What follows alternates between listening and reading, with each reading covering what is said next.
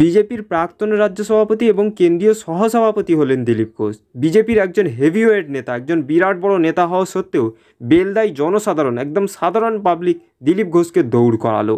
দিলীপ ঘোষ বিপদে পড়ে মাঠ টান দৌড় মারল। শেষে পুলিশ এবং কেন্দ্রীয় বাহিনীর জন্য দিলীপ ঘোষ কোনো মতে এক জায়গায় গিয়ে বসে পড়ল। কিন্তু দিলীপ ঘোষকে ছেড়ে কথা বলা হবে না। তৃণমূল নেতা অজিত মাইতিও সরাসরি হুঁশিয়ারি দিয়েছেন যে দিলীপ ঘোষ আজ বেঁচে গেল।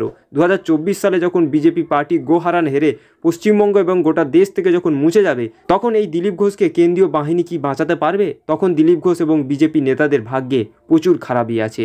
তৃণমূল নেতা অজিত মাইতি বিজেপি নেতাদেরকে উচিত শিক্ষা দিয়ে দিলেন এবং দিলীপ ঘোষকে কীভাবে জনসাধারণ দৌড় করালো, ভিডিওটি ধৈর্য ধরে শেষ পর্যন্ত দেখতে থাকুন। দিলীপ ঘোষকে গো ব্যাক স্লোগান বেলদাতে প্রাতভ্রমণের সময় দিলীপ ঘোষকে স্লোগান তৃণমূল কর্মীদের তৃণমূল কর্মীরাও বিরুদ্ধ স্লোগান দেয়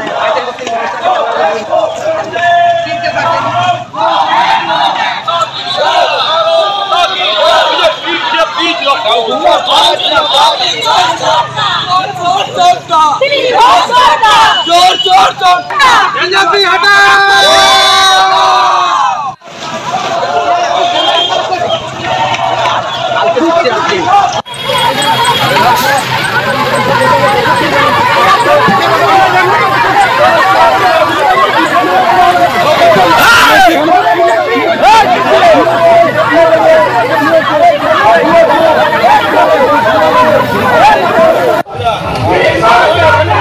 বুকে পা বুকে বুকে নয় একটু বিস্তারিত জানাও এই সম্পর্কে। কীভাবে উত্তেজনাপূর্ণ পরিস্থিতি তৈরি হলো? টাকা কাজের টাকা দিচ্ছে না কেন্দ্রীয় সরকার। এছাড়াও যে সাংসদকে এলাকায় দেখতে পাওয়া যায় না এছাড়াও বেশ কয়েকদিন ধরে যে পশ্চিম মেদিনীপুরে শপথে থাকাকালীনই দীর্ঘ কখনো হাতে তালোয়ার তো কখনো তৃণমূল নেতাদেরকে মারধরের হুমকি দিচ্ছিলেন। আজ সকালে তিনি যখন বেলদা বাজারে তিনি কথা ভ্রমণে বেরিয়েছিলেন তাকে ঘিরে ব্যাপক বিক্ষোভ দেখায় স্থানীয় তৃণমূল কর্মী সমর্থকেরা।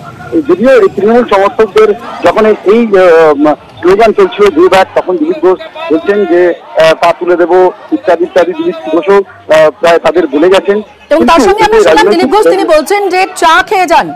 চা খেয়ে যান বলে আহ্বানও জানাচ্ছেন তিনি তৃণমূল কর্মীদের। না তো কি ওকে মুখে রসগোল্লা পুরে দেবে নাকি? এই মানুষই দেখবেন চব্বিশ সালে আপনাকে উচিত শিক্ষা দিয়ে দেবে। এখন কেন্দ্রীয় বাহিনী ঘিরে আছে, তাই সাহস করে বলছেন, বুকে পা তুলে দেবো। চব্বিশ সালের পর আপনি চিটপটাং হয়ে যাবেন, তখন কেন্দ্রীয় বাহিনী থাকবে না, তখন এই মানুষের সামনে আসতে ভয় পাবেন আপনারা।